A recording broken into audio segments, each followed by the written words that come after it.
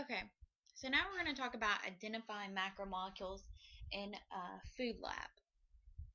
Okay, now uh, this is talking about identifying a positive test for uh, proteins, carbohydrates, and lipids. We don't have a test for this uh, for um,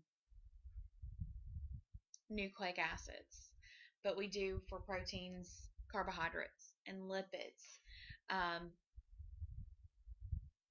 this is a um, you know, a, a normally a hands-on lab that you would do in the classroom. And I wish that I could just wave a magic wand and you guys would be exempt from that, but you're not. So it's still on your EOC and you still have to learn these things. And I hate that you don't get to do the lab, but there's really uh, no way that you could do it at home. Okay. So carbohydrates, proteins, and fats are all essential nutrients. We cannot manufacture these nutrients, so we must obtain them from our environment. And we can uh, manufacture proteins in our bodies, just so we know, you know, you know that. But we do need to obtain some of the essential amino acids um, uh, from our diet.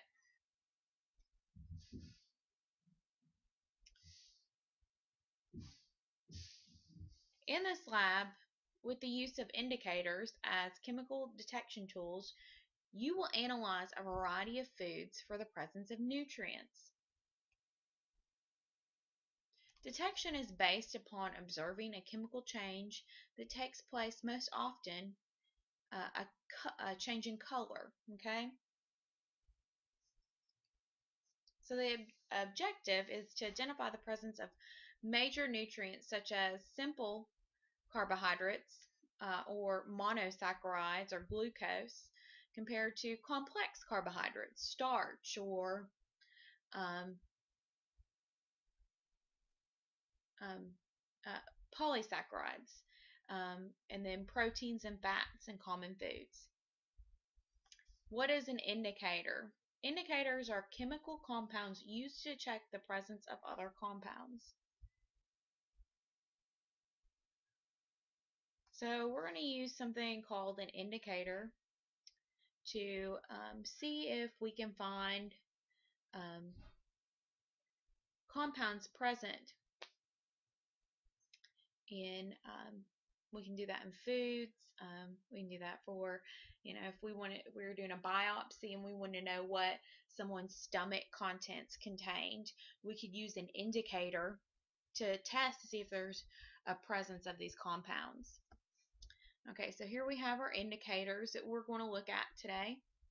And uh, we have Benedict solution, which tests for simple carbohydrates or monosaccharides. A negative test would be blue, while a positive test would look orange. We have, whoops,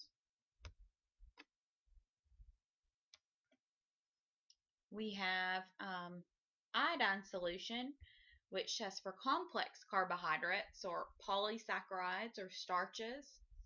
And it turns a dark red for a negative test and um, a blue-black for a positive test.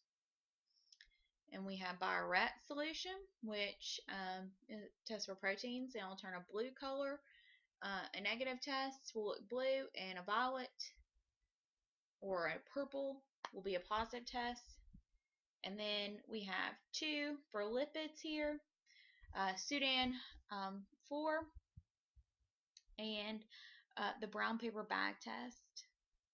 And for Sudan, it'll turn a, uh, it'll be dark red. Um, but for a positive test, you'll have these reddish orange, what we call globules, or like globs of, you know, the oils and the fat sitting on top. And for the brown paper bag, you'll have this like translucent color to the paper bag.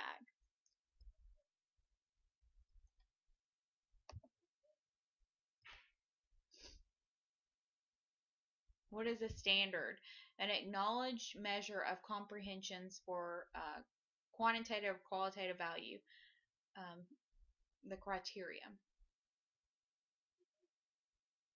And that's the standard that we're going to use to um, identify the, the presence of um, these. Okay, tests for simple carbohydrates or monosaccharides or um, glucose. You remember we talked about glucose, fructose. We talked about um, glycogen, or I'm sorry, not glycogen, um, galactose uh, or galactose, and we talked about ribose and deoxyribose. These are all simple sugars. They're made up of one sugar unit, um, a monosaccharide, and we use Benedict solution as a chemical indicator for simple sugars such as glucose. Benedict solution is naturally like this aqua blue. So if we put it in to a test tube with whatever we're wanting to test, and let's just say, okay, we wanted to know where a victim's last meal was, okay? So you're um, a pathologist and you've removed the uh, stomach contents and you want to know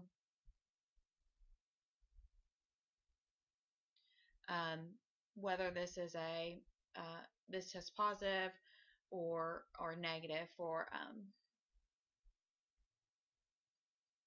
a certain um, or you want to know where victim's last meal is, and, and based on that, you want to know if there's carbohydrates, lipids, nucleic, or I'm sorry, we can't test for nucleic and proteins.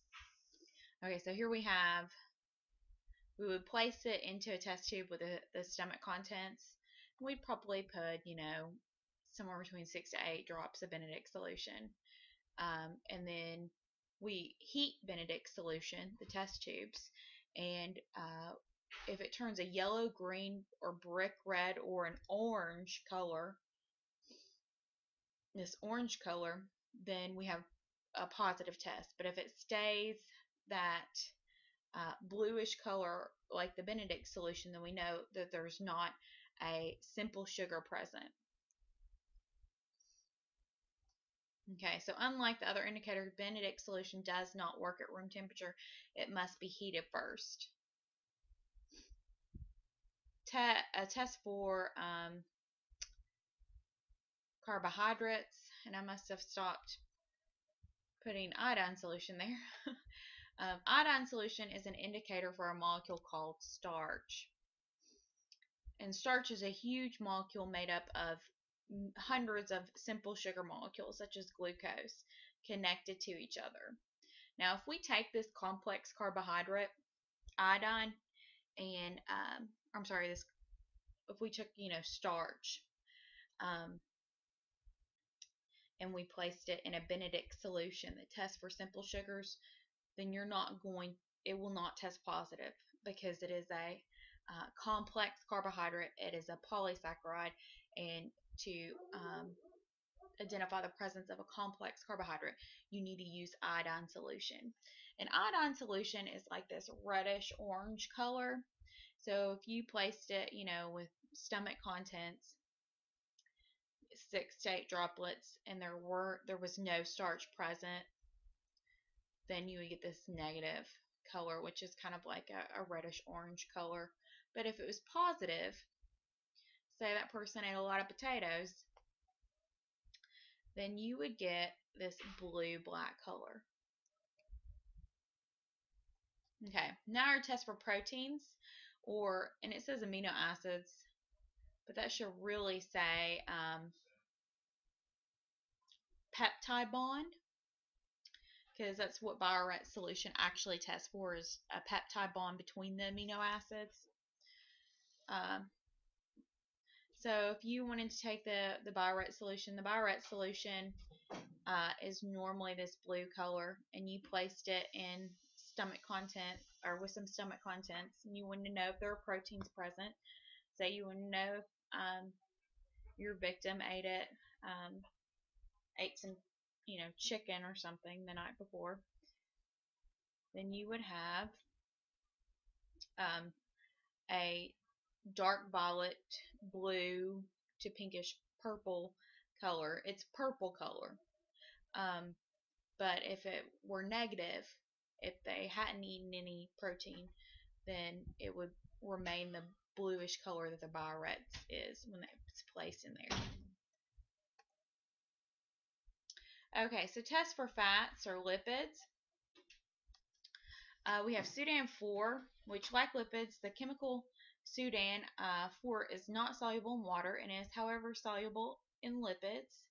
In this uh, test, dark red Sudan 4 is added to the solution along with ethanol to dissolve any possible lipids. And what will happen is, if lipids are present, the Sudan 4 will stain them a reddish orange. And what will happen is those lipids uh, we'll have this these reddish orange globules or little droplets that form at the top of the, the test for a positive test.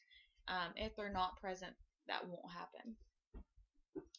Um, test for fats.